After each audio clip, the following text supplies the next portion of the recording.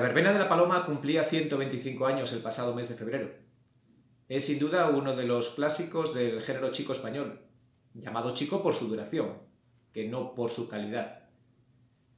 ¿Quién no conoce las famosas melodías de Bretón, esa de una morena y una rubia, hijas del pueblo de Madrid?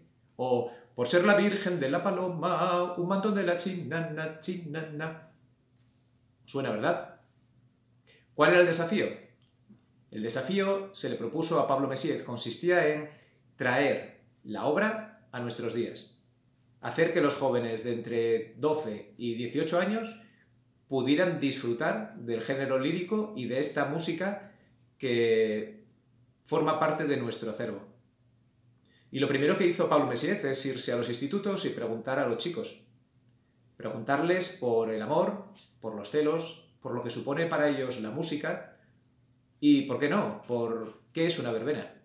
Y la primera sorpresa es que no solo no reconocen estas melodías, que parece que forman parte de nuestro ADN, sino que además jóvenes estudiando en institutos de Madrid ni siquiera sabían lo que era una verbena.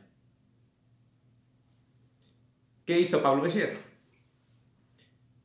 Convirtió la obra de hace 125 años, con texto de Ricardo de la Vega, en la inauguración de un centro cultural de un barrio de Madrid, en el que de pronto, por un problema de imprenta, todas las actividades comenzaban al mismo tiempo.